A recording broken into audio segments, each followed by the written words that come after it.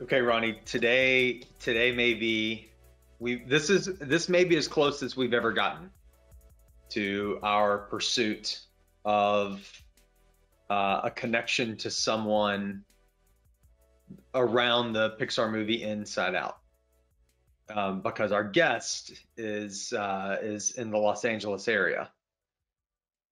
Which is like a geographic, physical connection. Yes, Like, that's as close as we're gonna get. as close as we've gotten so far to someone from from Inside Out. So no no pressure, Nathan. No pressure at all. Am I supposed to whisper that little voice in uh, in your head just to tell you, you know, what's right or wrong? Well, I'll I'll, I'll try to channel the the inside out as much as I can. If if you could channel more the Inside Out, then my typical go-to there is George Burns. Uh, you know, in the you know the devil on one shoulder and angel on the other. So somewhere in between, right? I'll do my best. Yeah. Uh, so welcome to Group Thinkers, everyone. I'm your host, Justin McCord. And uh, with me, as always, is Ronnie Richard. And uh, Group Thinkers is the podcast from RKD Group, where on every episode we talk with someone who's got a, a unique point of view, doing something innovative in the nonprofit marketing space.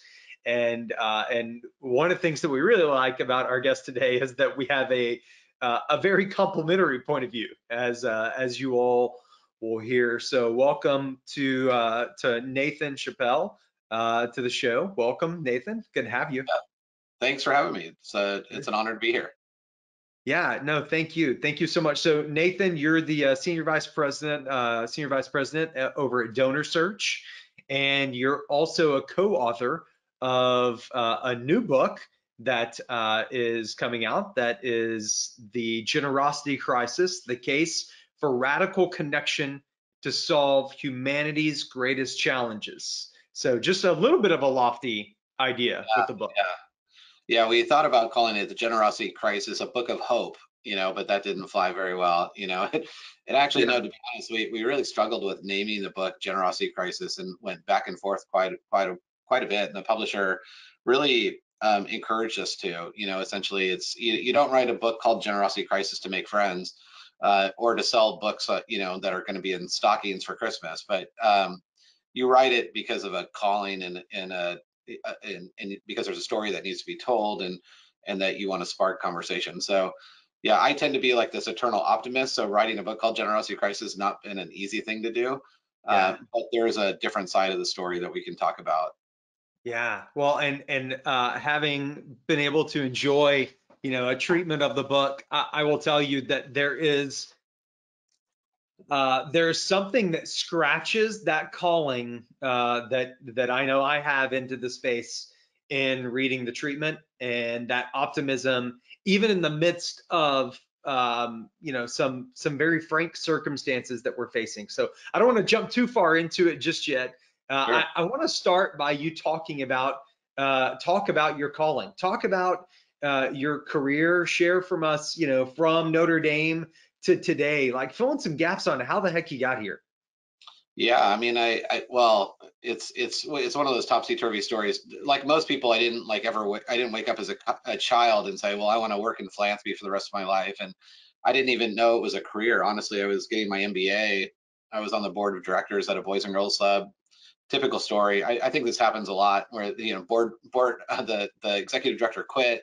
I was there. I just sold my business, going to getting my uh, graduate degree, and so I was like, sure, you know, I'm naive. I was like a lot younger, uh, 20 plus years ago, and said, sure, I'll step in and, and help out. And honestly, I found um, I thought I'd be there like six weeks just to like keep an eye on things while they hired someone new, and I ended up there seven years at Boys and Girls Club. And and honestly, it was it was a calling because it it it very quickly you know change what my motivations in life were which was like i wanted to sell my company go you know get my mba work on madison avenue. That was like my that was my thing. That's what, that's what i really wanted to go do.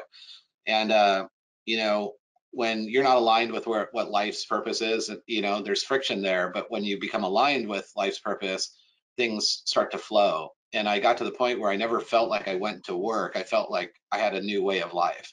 Hmm. and so looking back that was back in 2000 um, yeah, I spent the rest of my career in fundraising and I went back for a second graduate degree at Notre Dame and um, and it's just been amazing. Like I never thought I'd spend this long, you know, essentially, you know, doing good, you know, doing good business, but doing good with a variety of nonprofits and now on the on the for-profit side. Uh, amazing career. I mean, honestly, like for those that have fall, fallen into it or planned it, you know, I I think you know, I look at friends on the outside who, you know, they they have really good livings doing other things, but that sense of purpose that you get when you're working in the nonprofit sector, you know, you get to see the good in the world and you get to be part of that. It's it's special. You know, I don't think I don't want to miss this point. Uh, commonly, when I share with someone, you know, you get into small talk or et cetera, and and someone says, "So what do you do?" And when when you actually unpack uh, our role in philanthropy and in nonprofit marketing, they're always somewhat taken aback. Yeah. You know, it's really interesting. It's very rare that you can have, you know, if, if you were just going to say, yeah, I'm in finance, I'm in business, I'm in real estate, whatever, whatever all those other things are, those still have their place. But uh, that that sense of purpose is is is uh, it really comes out when people understand the connection to philanthropy. And sometimes there's jealousy in that too like i you know there's like well how do i get that? Like i've had friends mid-career try to switch and you know it's it's a little it's difficult because kind of the golden handcuffs you get kind of settled in your career. When you're younger it's easy you know it's like well i'm not going to do pharmaceutical sales i want to go into fundraising. You know there's you can translate those skills pretty easily but later in your career like I have friends that have very successful careers in, you know, high paying jobs that they look at what I do with this reverence of like, wow, like, I mean, it's a very, um, it is a very different type of work. And, and with that said, I think that calling is, it's more than your, your mission. It's more than the, the clients that you have. It's about philanthropy in general. Like I, and maybe it's just me, but I've been like, I'm, I feel like I'm like a guardian of generosity. Like it's my responsibility, like I think all of ours, is to protect that. Like I believe and I've seen the power of philanthropy, but we all are part of that tribe that has to like care for that. And I going back to your earlier question, that's really where the you know the the idea or the calling for the book came because it was like something's not right, you know, our something is, you know, not doing well. We we need to talk about some things together. Yeah. Yeah. Uh, we we often say that fundraising, we believe fundraising is a noble profession. Yeah. And so it's again uh-huh. very much aligned, and and it's important to reiterate those things because many of our listeners and colleagues, you know, it's it's also a very stressful uh, yeah. profession, and this is a very stress-filled time for uh, for those in in nonprofit space. Yeah, it's so funny to use that word because I, you know, so through most of my career, I started out as a fundraiser and then led fundraising teams and fairly large, you know, up, you know, 175, 200 million dollar a year annual goals and multi-billion dollar campaigns.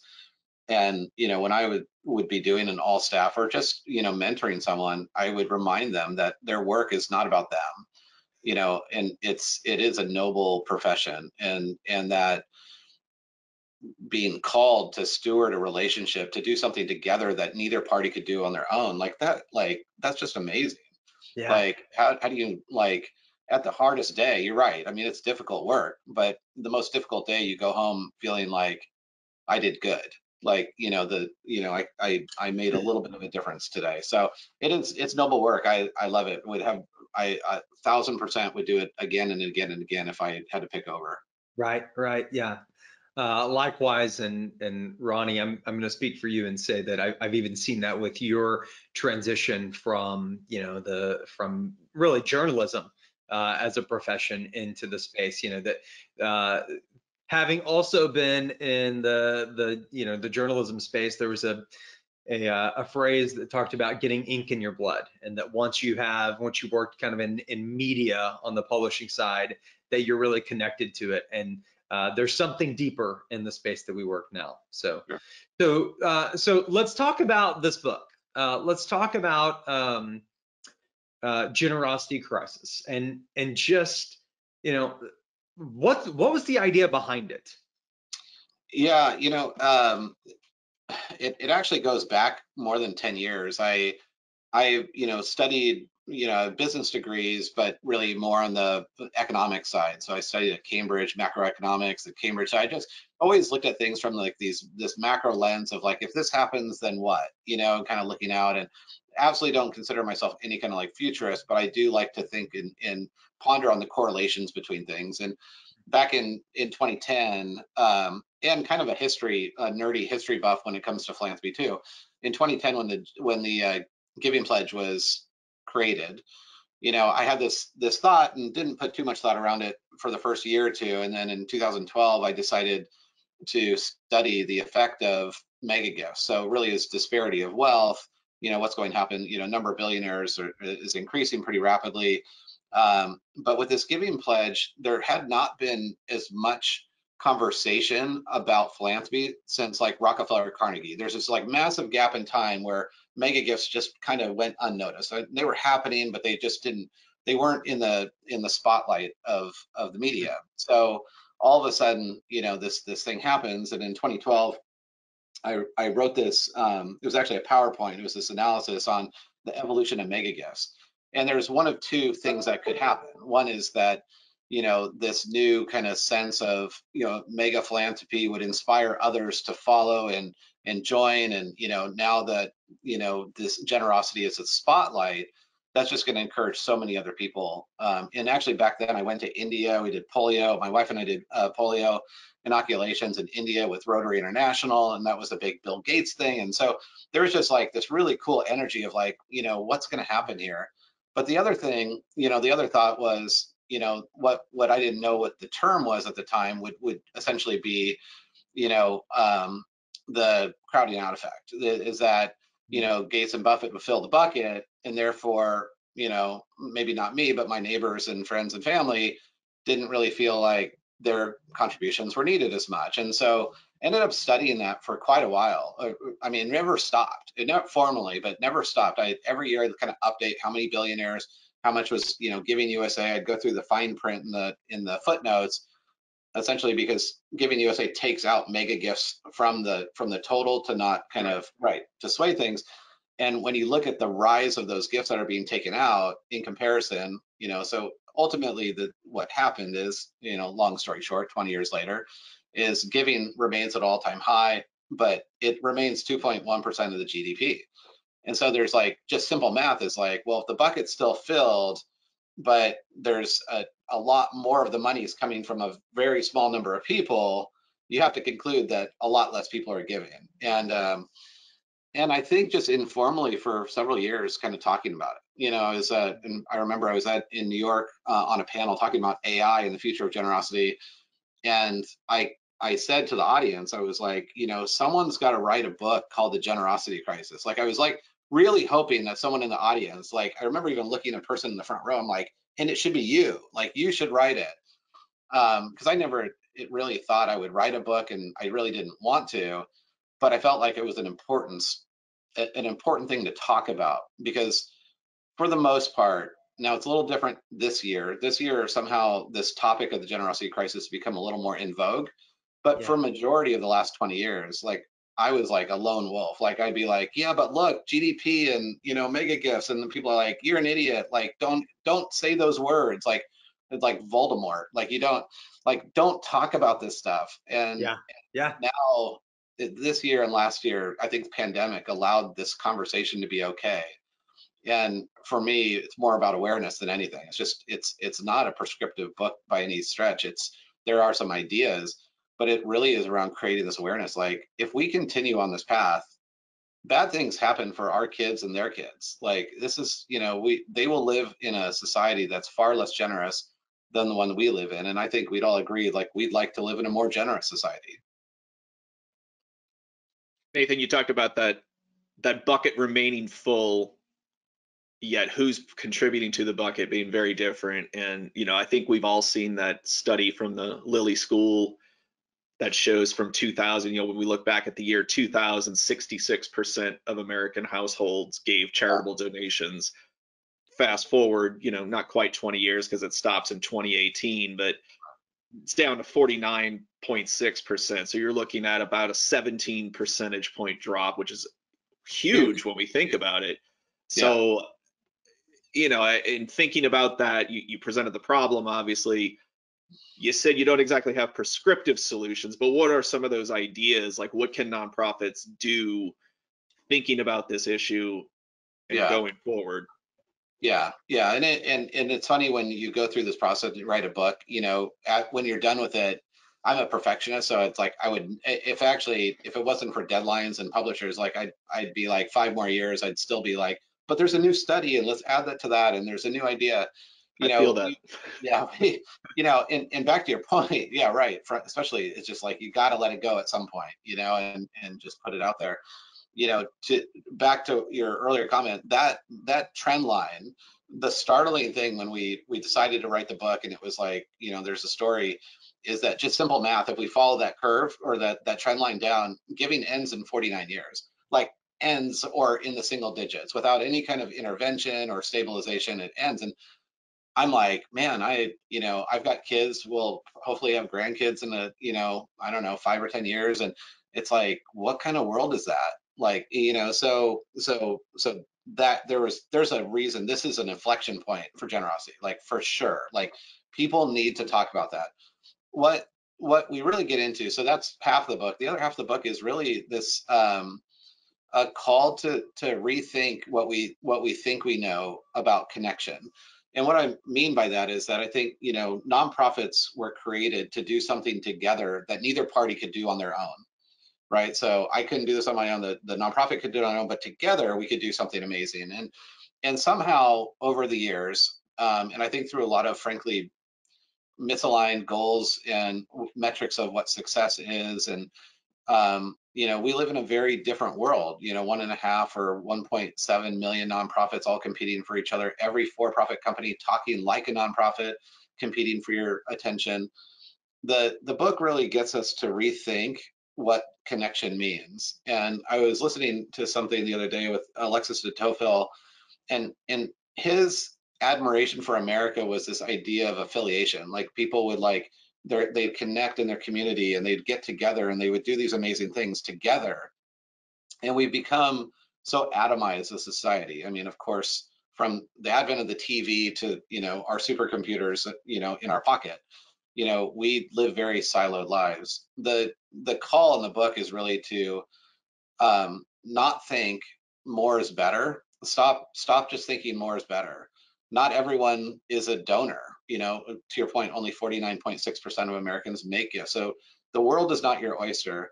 But the argument is that if we took the time to really get to know people in intimate ways, like nonprofits used to do, and we have lots of stories in the book about City of Hope, where I used to work, was a place where entire communities would come together. Like you would meet your future wife there at a dance that they would host for their community as a nonprofit because it was your family's identity it's it's really about this idea of getting back into really leaning into the conversation and the connection with people one on one and we had to come up with a new word for it because those words like affiliation and connection are so overused and and frankly bought and sold every day. Like your you know your connection is being it's out to bid you know the highest bidder every day. So we came up with this term the only thing to call it was this radical connection which is not a, a one-way thing. It's not like I know you, you know, or I know this nonprofit or they know me. It's that I know you and you know me.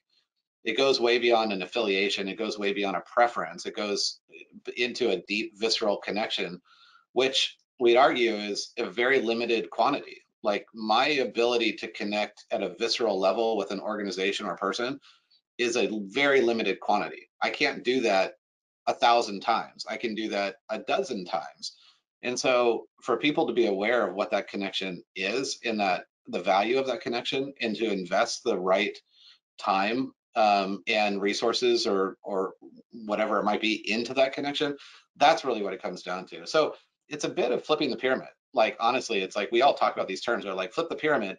More is not better, but better, more better is better. And and we know this, and this is where I think our work is so aligned between what you do is this idea that all donors are not created equal. you know, only in direct response do we even talk about lifetime value, you know, and and but why is it not talked about in even major gift fundraising? So lifetime value, you know, uh, of donor stays with you is 15 to 16 times X a single donor. So more is not better, but more better is better, you know. So anyway, it's just it's more of that call to to rethinking what we think we know about what it means to connect with people. You know, I love that. And Ronnie, you, your question was, what can nonprofits do to turn this around? And I'm sitting here thinking, yeah, but what about the responsibility of the donor? Like, because there is that two-way, you know, uh, piece to it. And, and when you, when I sit and wrestle with the uh, the decline in donors, the decline in households, mm-hmm. uh, you know, I start to think about, okay, well, how did how did the idea of philanthropy come into my my purview? Right. And it came into my purview because I watched my parents write a check and put it in an offering plate. Like that was the the basis, that was the foundational element. And even, you know, the my kids don't see me do that because it's all online and it's happening behind the scenes.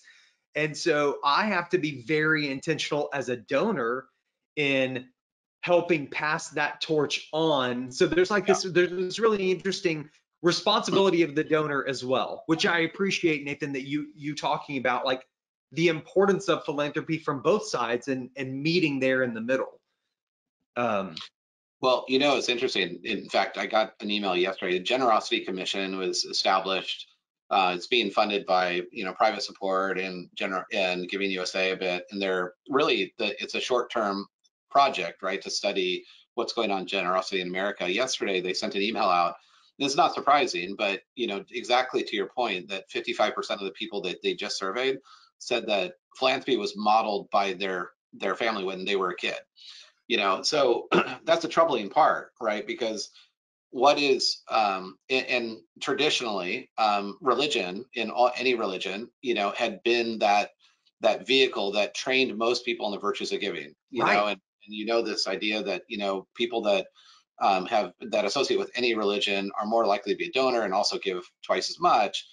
So what is that? What is that replacement? So I think this is about it is a responsibility of the donor. It's a responsibility of me talking to my kids, but it's also me talking to my my my kids' friends and my neighbors, and for us to actually talk about what does generosity mean to us and uh, what role do we play? Because that's the scariest thing. If yeah. that no one is talking about it, it just kind of evaporates. Yeah, yeah, and and you know the the the book also talks about the importance of you know giving of your your time in addition, right? right? And and right. you know I I find that to be an uh, uh, an understated part of philanthropy and and you know our our recent study that we put out uh, you know it's been a couple months now but the listen up study it, it we talked about this correlation as well. And so, you know, when donors feel valued and when they feel involved, which typically means that they are involved in some way, um, their relationships grow stronger and their giving goes up. And so it's, you know, thinking about strategically from the nonprofit side, okay, how do I make Nathan feel valued and feel involved? Right. And how do I make Ronnie feel valued and involved? And it is a one-to-one thing. It's not a how do I, you know, broadly communicate to both of these, you know, folks or to hundreds or thousands of them. Yeah. I would I would say too, I mean, as I'm sure you see this every day in your work, is that as you know, we live in an extremely personalized N of one world where, you know, whether it's American Express or you know Audi knows me and when I'm going to buy a car or what I'm going to do or where I'm traveling and, and we've gotten so used to that idea of personalization you know and just by a sheer experiment I turned off all of my recommendations on Amazon about six months ago just to prove a point. And I I was like I just want to see what happens. And the very first thing it, it recommends that I buy was fingernail clippers. And I was getting like bombarded with like you need to buy fingernail clippers because it didn't know me at all like we become you know we're we, we take so much for granted that these like companies know what we want when we turn that off it's like startling but then mm. you know, the juxtaposed position is like nonprofits. Like, you know, not, I mean, I don't think we're in the dear alum space anymore. That's just like, you just can't even survive if you're doing that. Right. But I do think that expectation for individuals from a nonprofit are much higher than what's being delivered in most cases. And so I think as we we have to admit and acknowledge like it really comes down to, you know, if you can't do micro personalization or micro segmentation, you need to get much better at, you know, communicating the right message at the right time with the right person.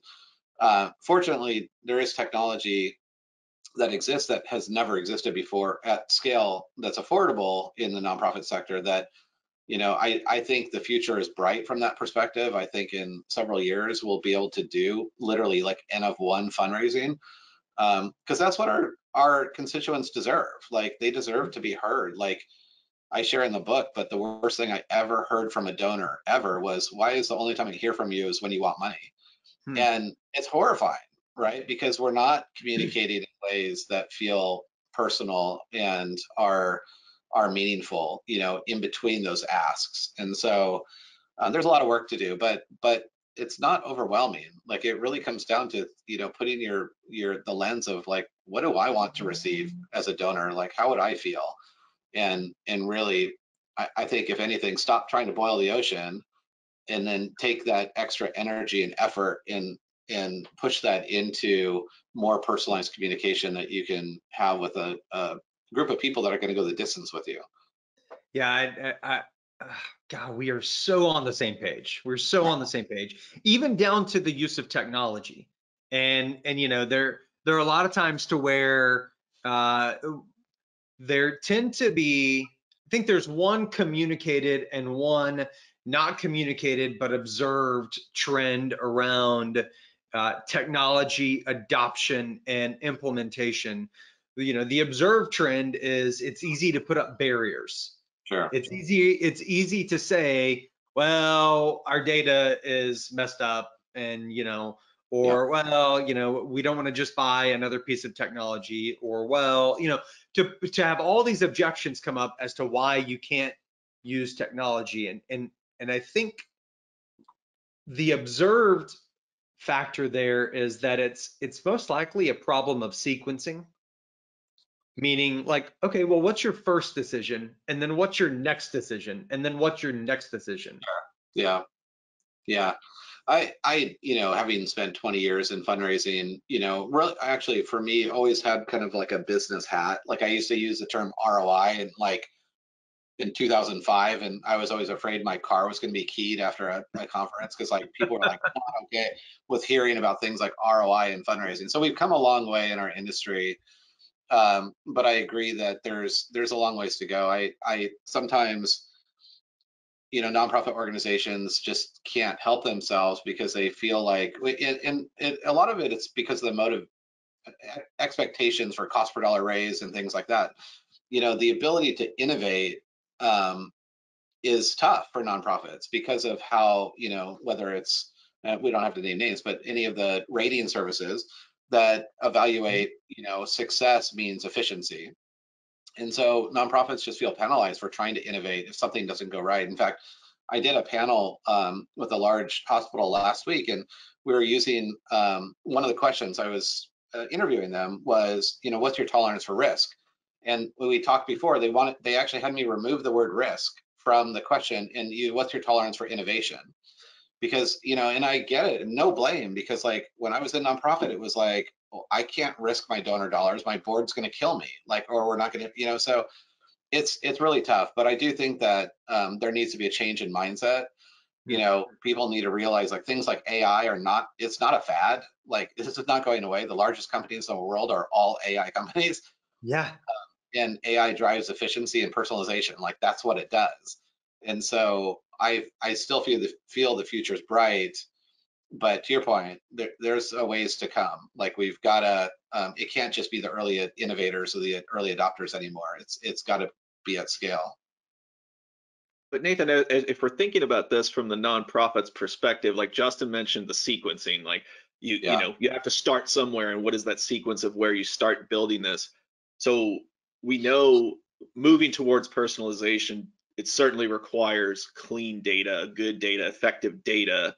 Is data that first step? Like, because we know nonprofits certainly have their challenges when it comes to data.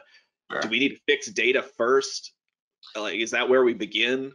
that that's it's always the very first question it's always the largest barrier and the single biggest barrier that actually to be honest is not nearly as big as people give it credit for so if you're using only the nonprofits data then yes like if you're if you're say you're building models ai models on only a client's data that data should be you know it should have decent hygiene so it's actually kind of two answers this but AI should never rest on a single data set. So uh, you should always enrich that data with outside data. There's so much really good data. You could take, you know, Ronnie Richard, add a thousand or 4,000 data points to that, that would really essentially um, distribute out the, the, uncleanliness part of it to a broader, you know, much broader um, kind of more holistic view. Uh, but with that said, the other the other thing that nonprofits have to realize is that this type of approach that we're talking about is so fundamentally different than what anything that's existed in the past, which is got to have your clean data because I'm going to build a model from 12 data points or 18 data points, which is a classic regression model. And they better be right because if they're not, you know, we're going to pay the price. Well, the big, big, big difference in AI models is that first, your model's never done it will never be done. You're not building it one time and put it on the shelf and it's fixed and you're going to score it. It will never be done. And and then the other part is it is being able to enrich it with so much more data that it kind of distributes that out. So I think getting over the fear that you've got one shot at it. Most hmm. organizations, I think this is a big barrier, had tried models in the past and they tried looking at personas and it didn't work because their data wasn't clean. They had a hmm. fixed amount of data and it wasn't clean and they felt burned and they don't want to try something new. But this new era of, of essentially machine learning, deep learning is so different. It's it's hard for people to get their arms around like how different it is. Mm. So it's more about trusting like we'll never be done. You got to start where you start, and you try to enrich data um, to help you know essentially distribute some of the the the data that way. when you say you'll never be done, you mean it continues to collect data and use the data it's collecting as it's working, right? Yeah, true machine learning is learning, right? So like the Amazon algorithm is essentially being retrained continuously based on your buying and viewing and sharing habits. And so, you know, if it hadn't, it would still be, you know, it'd still be recommending fingernail clippers. And so it's just every time, so this this never, you'll never be done is essentially every day this is just a big paradigm shift for nonprofits. People are not fixed in time. There's no such thing as a donor or a non-donor or a good donor or bad donor. You have lots of people that that know you to different levels. They they are they're connected to you from very little to very high, and at the at, at what what's different is that that connection changes every day. So every day um, if you think about like a hospital, someone either has a patient visit or they don't, or they attend an event or they don't, or in higher ed they get a degree or they don't, or they they volunteer in a alumni association or not. So organizations have to stop thinking about people as like binary terms as fixed, like donor, not donor. It truly is like this idea of precision philanthropy, like N of one, like every person is on a unique path. Now, it's still a ways away. I mean, I think from five years from now, I think we'll look at it. I mean, that's not that far out. But if I look at AI five years ago from what we do now, it doesn't even look remotely similar. It is so vastly different. It's better, it's faster. I mean, it's it's a lot better, and it's way more adaptive. So five years from now, is it possible to think that every person has an individualized strategy? 100%. Hmm. You know, based on you know where you know where they're at, you know, the right, you know, the right time, the right, you know, ask and all that good stuff. Oh man, golly, we're just I I wish we could continue talking. I wish uh, this was this is one where we might have to do like multiple conversations, Nathan, because this is we could sit here and talk for three hours about this stuff. Yeah, really I feel like this is a great conversation. Uh, you know, and and you're right. I mean, it's it, yeah. I remember having a conversation a couple years ago of, of basically saying we're all analysts. At this point, if you're in fundraising, you're an analyst. Yeah. And that requires that requires that you have some data set that you're looking at to make decisions. And Yeah. and so the sooner that we embrace that and find ways to uh, to scale it and leverage it, you know, I think the we will see even some of the ups and downs and fluctuations of this past year. I think that you could iron through some of those easier if we have better data practices and better analysis practices into strategies that are personalized. Yeah. Yeah, I think, I mean, it's, I'd be happy to, I, I love this, obviously. I mean, for me, AI is a means to an end. So there's this idea of like, less people are giving less. And we used to use terms that when I was at City of Hope, like, you got to work smarter, not harder. Well, this is the way you do it. I mean, really, it is, you know, it, it, it allows us to rethink that connection and quantify connection in real time.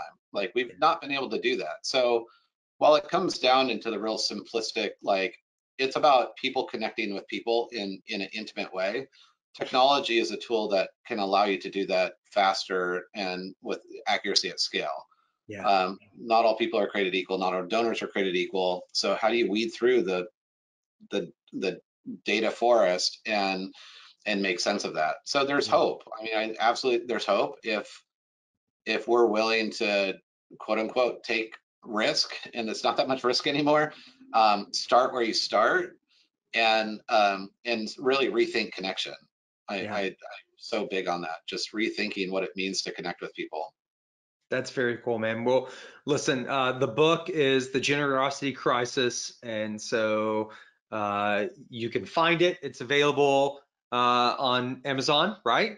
yeah barnes and noble amazon all we're all i we're all books are sold i guess Where bo- all books are sold. You can also get some fingernail clippers if you're Right. interested. uh, you know, and so um, so Nathan, we really do we appreciate you taking time to to share with us a part of your story and this pursuit. We really appreciate the pursuit that you have and the calling that you have to to raise the profile of this conversation.